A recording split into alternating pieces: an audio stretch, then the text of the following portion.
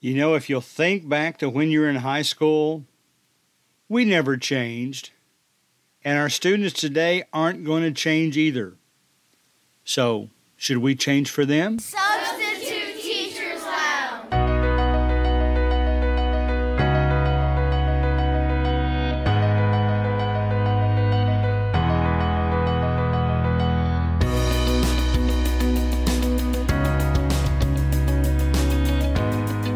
right, it is January 9th already, 2022.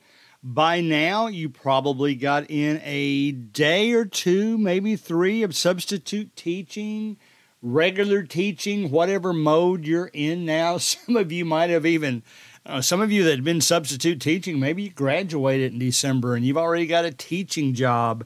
I know of some new teachers at the high school I had been teaching at.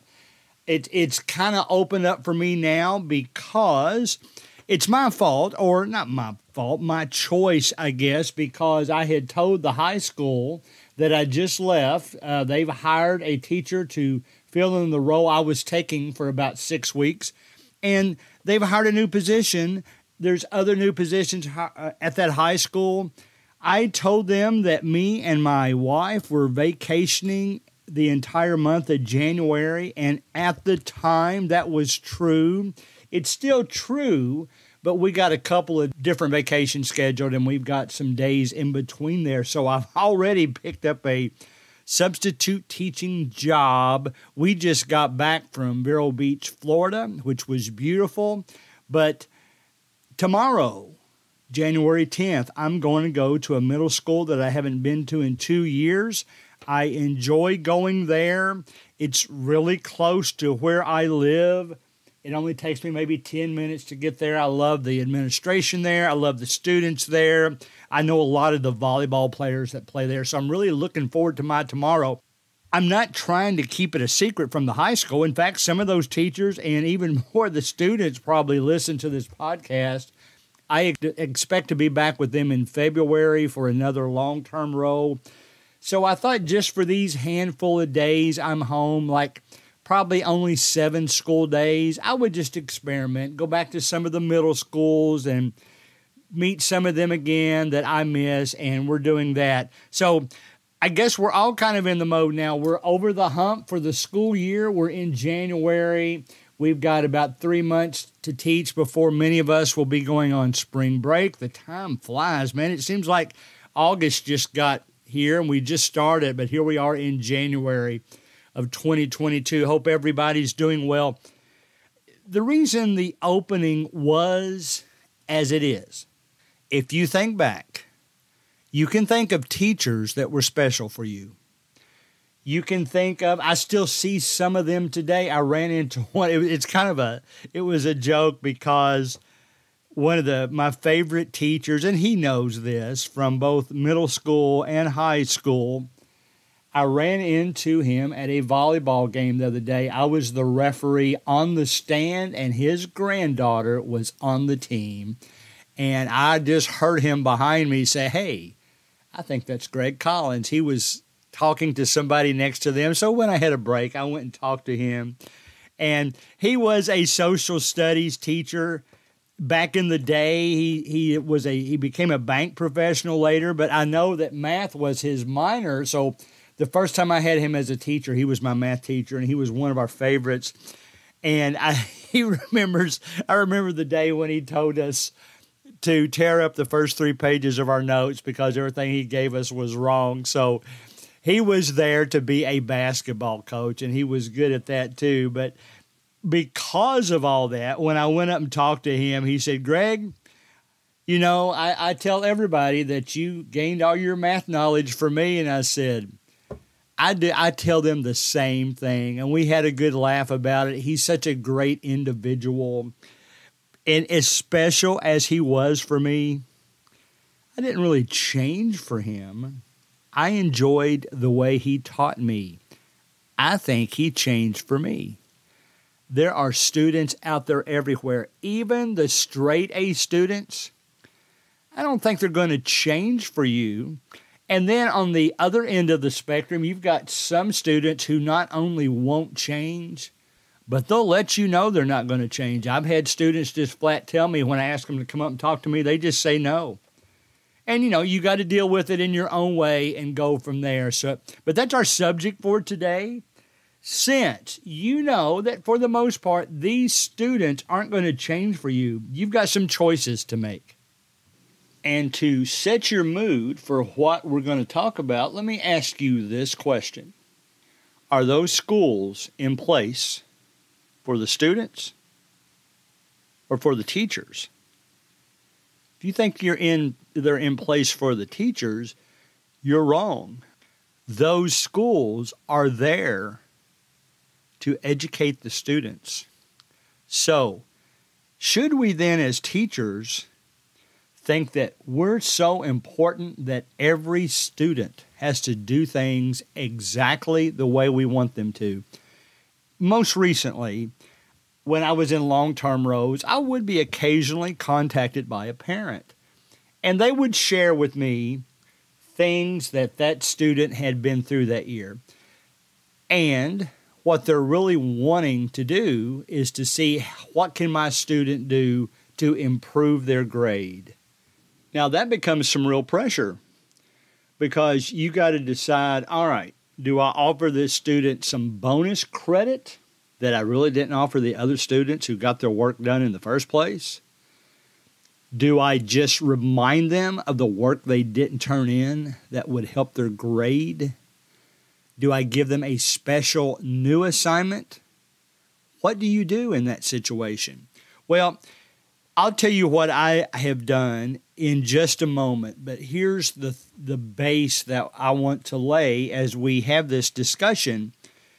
We come across students all the time. They come from different walks of life. I'm in Kentucky right now. I'd say the issues we have, while not less important, are different than the issues you have at your school. Our job as adults, think of it, forget the teaching part for a moment. Our job as adults, if I just run across a person who needs just a little bit more help, it doesn't bother me at all to help them.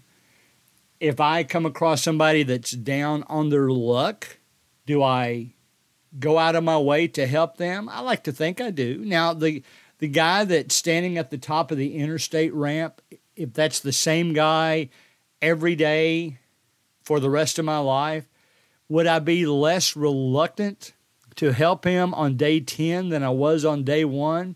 Well, maybe. Again, that's still a decision you're going to have to make. But think about just how much better the world would be. this is very philosophical all of a sudden. If we all just helped out each other.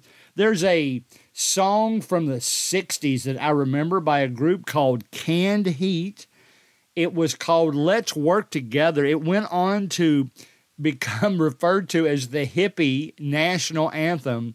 But it was basically just saying, you know, if we all help out each other and we all work together, we're going to be a lot better off in the long run. We're going to get along better. I remember when I used to live in St. Louis. This was my first few months. Uh, we moved into a place that we didn't stay at very long. Some of the tenants there, I, I wasn't crazy about. One of them cut their own screen door accidentally. So while we were gone one time, they took our screen door. So just little incidental stories like that. Still in hubcaps, and I love St. Louis. Don't get me wrong. This can happen in the home, in the city I am sitting in right now. It could happen anywhere, but it was just kind of area we chose to get out of. But at the same time, I remember this would have been back in 1980. There was a monster two feet snowstorm one evening. And all of a sudden, these same people that were stealing screens and being rude to each other, they were helping each other because they knew that one person couldn't dig their car out and get them on the road. They knew they had to have help. And because we were in a serious situation together, we all helped each other out. Think about that when you're teaching kids. We're all in a situation together.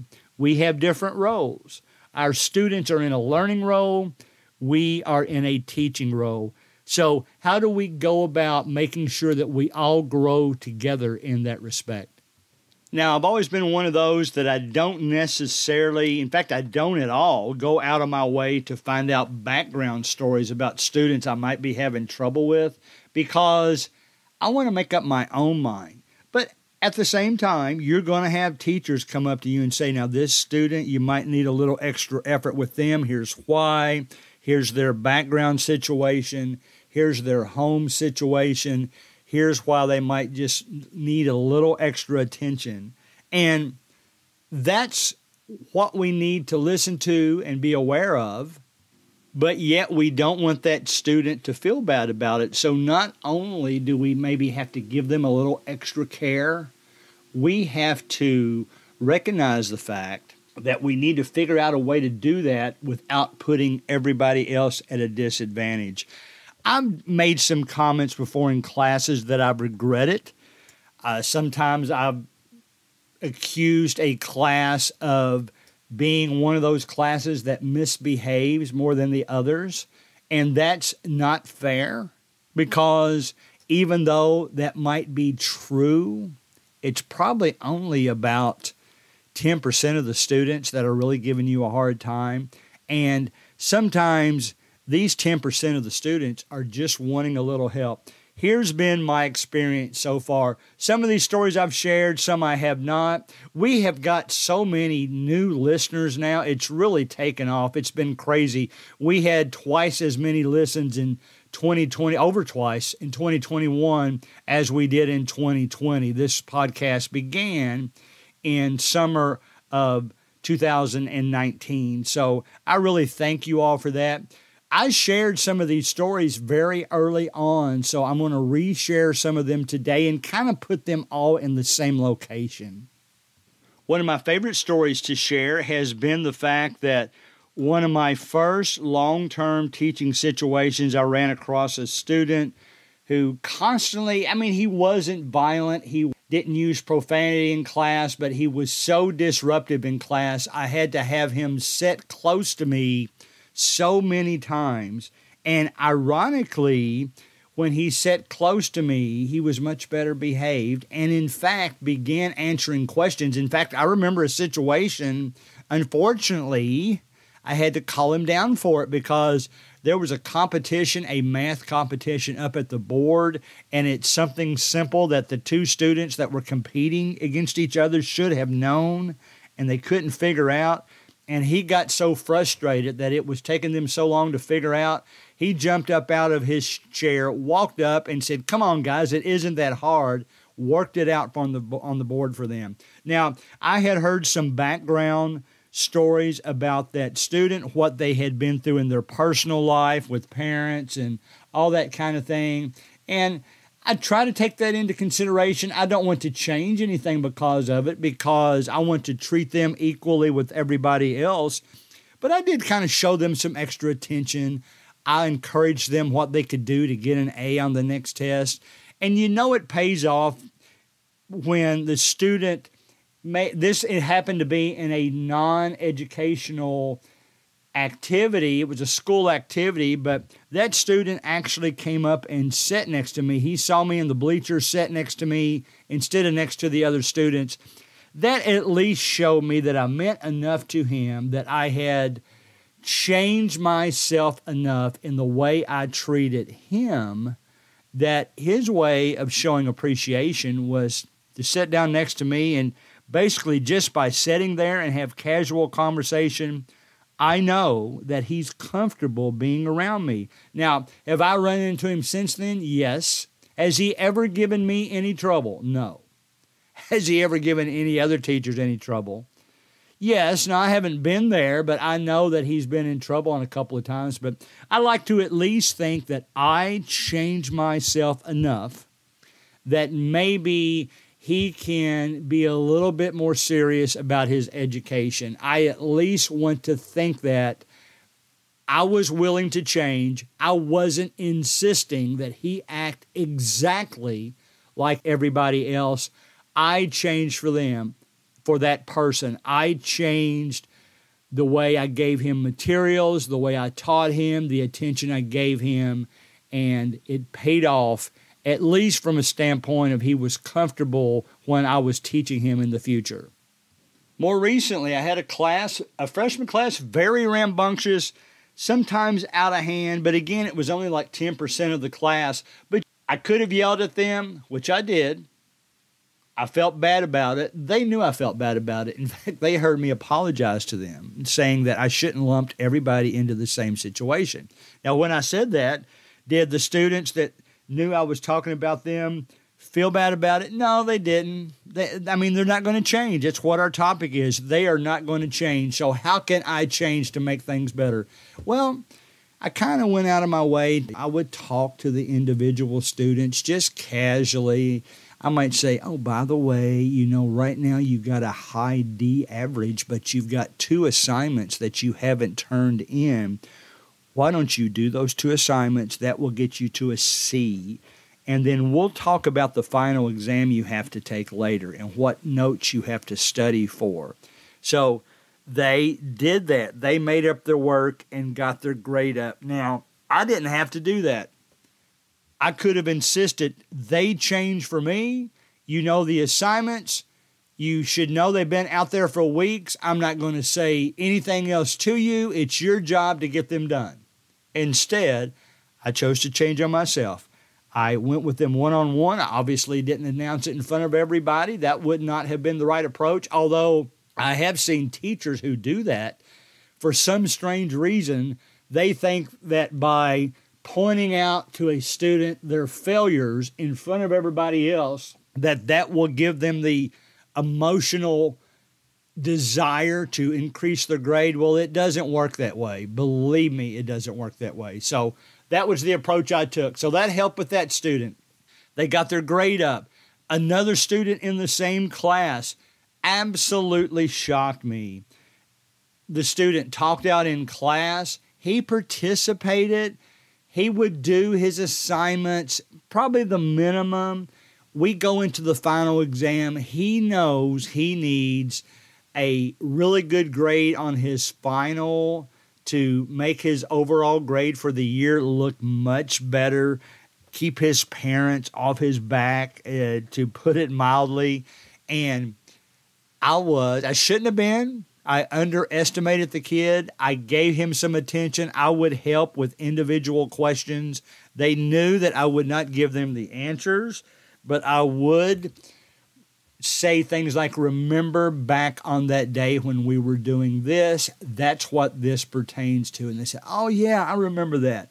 That helped him a little bit. Well, it turns out that this student ended up getting a high B on his final exam. And man, I thought he was going to jump out of his skin, to use an old fashioned phrase. He was so excited. He knew how that was going to affect his grade because that final exam was 20% of the first, you know, the first half of the school year. So he knew that that would help his grade immensely. So I didn't realize that I had encouraged him enough to get him to study like that.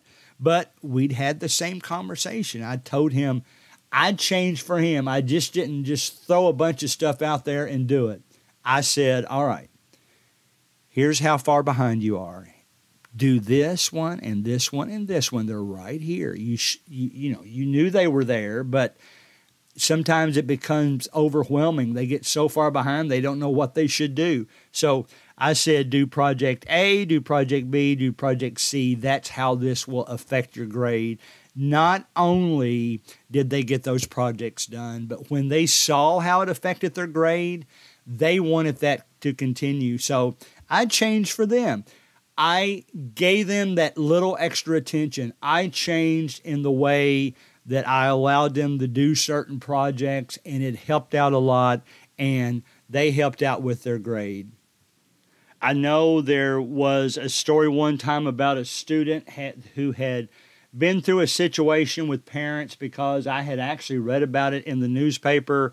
The student was typically a straight A student, and they basically did not do well on a test. I went up to that student and I told her, listen, you know, I understand you've got a lot of things going on right now.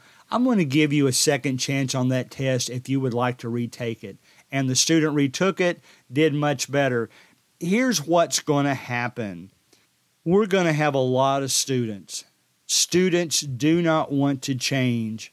I've joked that I've I've had prob- I've probably taught I think over 2,000 students now because eight different classes have been involved. There's some overlap, I guess.